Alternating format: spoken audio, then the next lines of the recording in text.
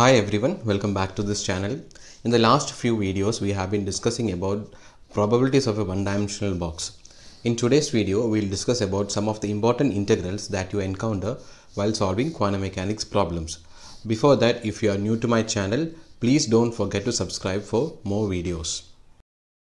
The first integral with broad application in quantum mechanics is the Gaussian function. A typical Gaussian function is described by the equation y equal to e raised to minus ax square. A Gaussian function has the familiar bell-shaped curve. Let us visualize what happens if we change the variables associated with the Gaussian function, that is y equal to e raised to minus ax square. Now I am going to increase the value of a from 1 to 10. Let us see what happens. Here we can see that when the value of a is increased, the width of the Gaussian curve is narrowed. If the value of a is decreased, the Gaussian curve becomes wider and wider. When we integrate the Gaussian from minus infinity to plus infinity, what we actually get is the area under this curve. So when the value of a is increased, the area under the Gaussian curve is decreased. And when the value of a is decreased, the area under the curve is increased.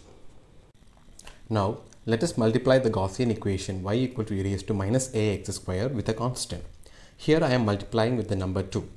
If we look at the curve, we can see that the maximum point on the curve, which was initially at 1, has now shifted to the point 2. So whenever you are multiplying a Gaussian with a constant, the amplitude of the Gaussian curve becomes the constant times the initial amplitude. Now let us add a constant with the Gaussian function. Here I am adding 1. So the expression has become 1 plus e raised to minus ax square. Now if you look at the curve, we can see that initially the curve was at y equal to 0. Now the whole curve has been shifted to y equal to 1. e raised to minus ax square is a Gaussian curve whose center is at x equal to 0. Now if I wish to change the center from x equal to 0 to x equal to 1, what I have to do is replace the x in the Gaussian expression with x minus 1. So we will get a Gaussian curve which will be centered at x equal to positive 1. Now if we want to change the center from 1 to minus 1, what we have to do is we have to replace the x with x plus 1. So we will get a Gaussian curve whose center has been shifted to minus 1 from 1. Let us move on to the integration of these Gaussian expressions. The integral minus infinity to plus infinity e raised to minus ax squared dx is equal to under root pi by a, where a is the coefficient of x square. Most problems in quantum mechanics will have the constant factor as a by 2 in the exponential term. So, by substitution, we are able to easily show that integral minus infinity to plus infinity e raised to minus ax square by 2 dx equal to under root 2 pi by a. Now, let us differentiate both LHS and RHS of this equation with respect to a. Then we get my integral minus infinity to plus infinity x square e raised to minus ax square dx equal to under root pi divided by 2 into a power 3 by 2. By repeated differentiation, it is easy to show that integral minus infinity to plus infinity x power 2n into e raised to minus ax square dx equal to under root pi into 2n minus 1 factorial divided by 2 power n into a power n plus 1 by 2.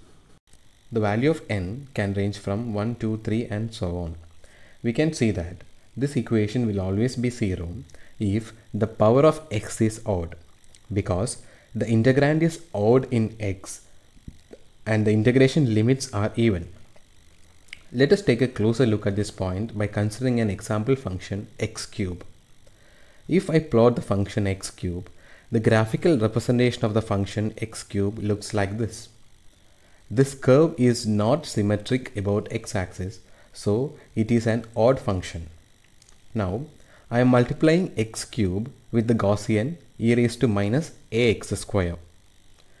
Here we can see the graph of this product. There is a negative part and there is a positive part, which will easily cancel out when we integrate with the limits minus infinity to plus infinity. So, whenever the power of x is an odd, then the integral minus infinity to plus infinity x power n e raised to minus ax square dx will be equal to 0.